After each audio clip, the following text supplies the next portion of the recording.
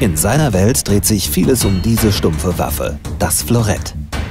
Mit ihr wurde Peter Joppich bereits viermal Einzelweltmeister. Ist unheimlich schnell. Ähm, man braucht auf der einen Seite eine sehr gute Kondition und auch Schnelligkeit, aber auf der anderen Seite auch die mentale Stärke muss vorhanden sein. Das ist mein Sport. Ähm, ich habe viele Erfolge feiern können und ich habe einfach Spaß am Fechten. Schon früh hat der 29 Jahre alte Joppich seine Liebe zum Florettfechten entdeckt.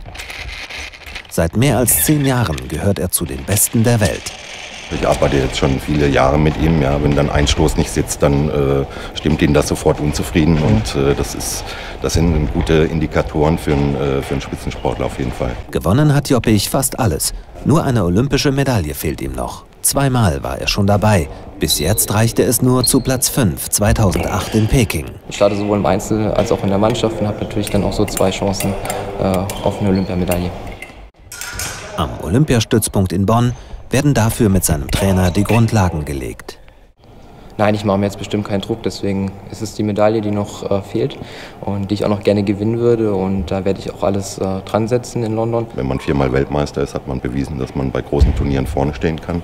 Das ist dem Peter jederzeit wieder zuzutrauen, dass er auch im Einzelnen Medaille holt. Dabei könnte ihm seine mentale Stärke helfen, die ihm in den knappen Gefechten oft den entscheidenden Vorteil bringt. Mit der Mannschaft ist eine Medaille sehr wahrscheinlich.